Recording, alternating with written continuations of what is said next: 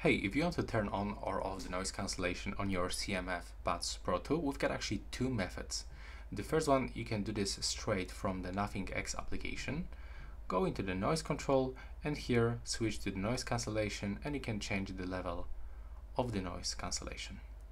Also, you can do this with your controls. So on the left or the right earbud for the tap and hold, you got set option for the noise cancellation. So now when you click and hold on the left or the right earbud like this, you will turn between the transparency mode and the noise cancellation mode. But also you can try to do this with this charging case.